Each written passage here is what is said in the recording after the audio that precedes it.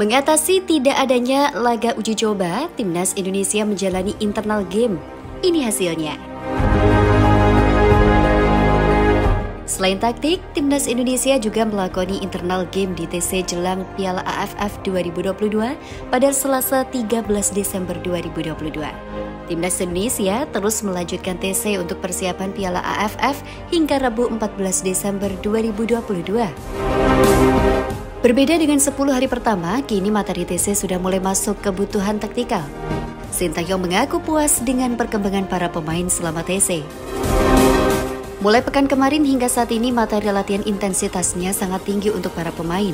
Kata Sintayong dilansir bolaspo.com dari laman resmi PSSI. Para pemain mengikuti latihannya dengan baik, semangat dan kerja keras. Saya puas dengan perkembangan pemain hingga saat ini. Tambahnya, skuad Garuda juga menjalani internal game pada Selasa 13 Desember 2022. Ini merupakan internal game perdana timnas Indonesia untuk mengatasi tidak adanya lagi laga uji coba jelang Piala AFF 2022. Tidak diketahui detail internal game yang dilakukan timnas Indonesia kemarin, namun Sintayong mengaku hanya mengecek pergerakan pemain saja. Menurutnya, Kekurangan ada pada transisi yang dirasa Sintayong masih kurang cepat. Untuk menilai internal game kemarin, memang tidak bisa dibilang apa-apa karena hanya mau cek pergerakan pemain seperti apa. Itu saja, kata Sintayong. Kita bisa menjadi tim kuat jika transisi pemain lebih cepat. Saat ini masih kurang dalam transisi, itu yang harus kita perbaiki supaya menjadi lebih baik.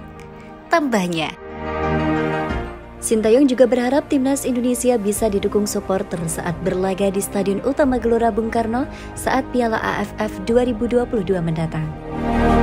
Pelatih asal Korea Selatan itu memahami bila polisi susah memutuskan apakah laga timnas Indonesia bisa ditonton atau tidak karena adanya tragedi Kanjuruhan.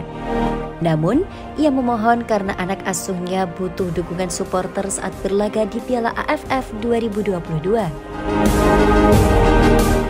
Saya memang mendengar ada kabar-kabar tidak baik bahwa belum ada izin untuk penonton bisa masuk atau tidaknya itu. Tetapi ini bukan pertandingan liga, ini pertandingan internasional. Ujar pelatih timnas Indonesia, Sintayong, dilansir bolaspo.com di akun Instagram resmi PSSI pada Rabu 14 Desember 2022. Jadi memang dengan adanya tragedi di Kanjuruhan memang dari kepolisian pun kesulitan untuk ambil keputusan. Tetapi saya memohon pengertiannya karena ini pertandingan internasional, bukan pertandingan liga. Dengan adanya penonton juga pasti saya dan pemain juga akan lebih bersemangat lagi. Dengan memberikan izin dari pihak polisi untuk menonton bisa masuk pasti saya turut senang dan berharap mendapatkan izin itu. Agar dari pihak kita juga bisa memberikan hasil yang terbaik bagi masyarakat. Tambahnya,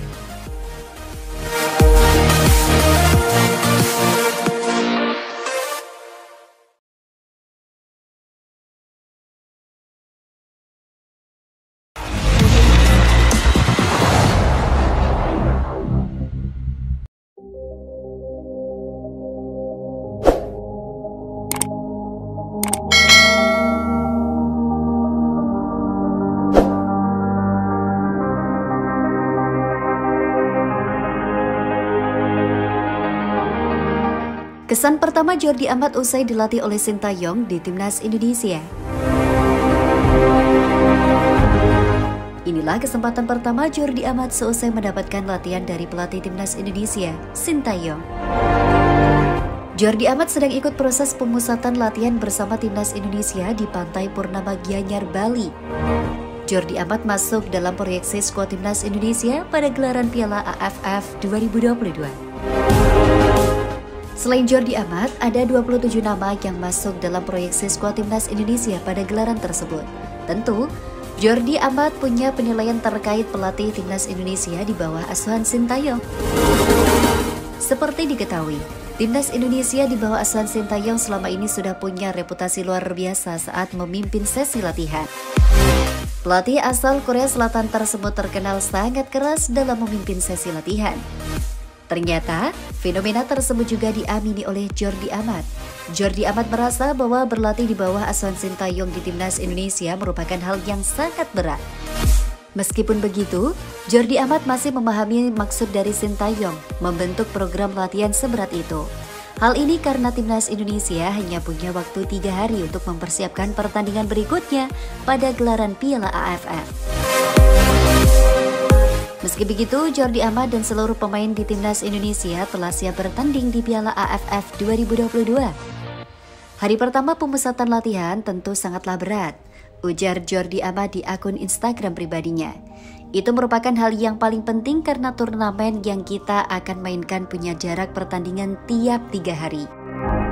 Saya bisa katakan, kita telah siap saat ini, kata Jordi Amat. Tes di Bali bukanlah kesempatan pertama Jordi Amat berlatih di timnas Indonesia. Sebelumnya, ia sempat mengikuti rangkaian TC bersama timnas Indonesia di Bandung. Kala itu ia juga diproyeksikan mengikuti pertandingan timnas Indonesia pada gelaran kualifikasi Piala Asia 2023. Namun sayang, dirinya belum bisa membela timnas Indonesia kala itu karena proses naturalisasinya belum selesai sebelum tenggat pendaftaran menuju kualifikasi Piala Asia 2023 ditutup. Meski begitu, ia juga mengaku bahwa pemusatan latihan perdana timnas Indonesia bersama Sintayong merupakan hal yang berat. Latihan pertama di Bandung itu sangatlah berat karena gelombang panas. Setelah itu saya beradaptasi cepat, ujar Sintayong. Saya senang dengan ide dari pelatih Sintayong bagaimana memainkan sepak bola agar lebih mudah dipahami, ujarnya.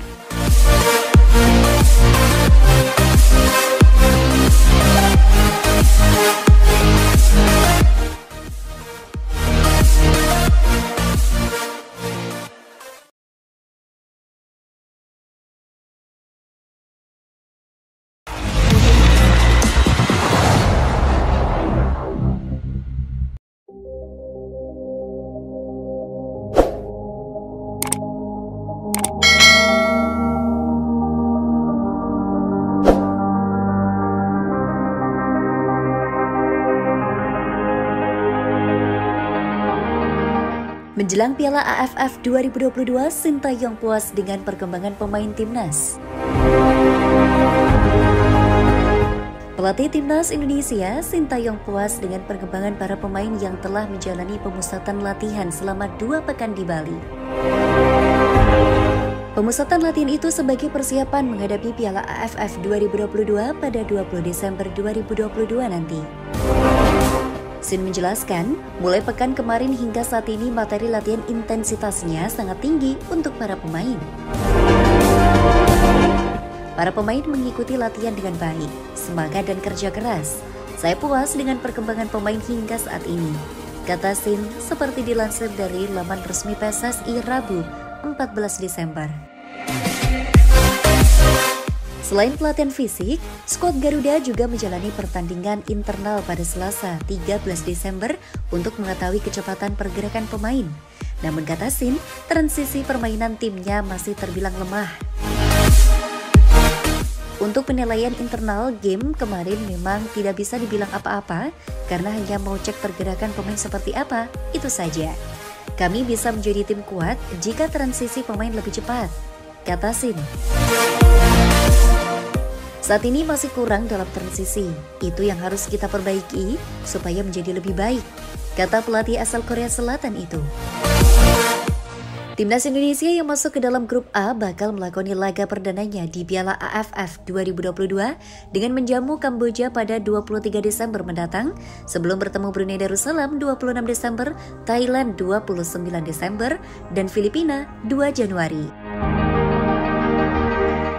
Sin berharap para supporter bisa datang dan mendukung langsung timnas pada laga kandang di Stadion Utama Gelora Bung Karno nanti. Sebab, dukungan supporter akan sangat berpengaruh peningkatan motivasi dan semangat para pemain. Karena ini pertandingan internasional, saya berharap mendapatkan izin dari pihak yang berwenang agar penonton atau supporter dapat datang ke stadion untuk memberikan dukungan langsung kepada timnas Indonesia. Tutup Sintayong.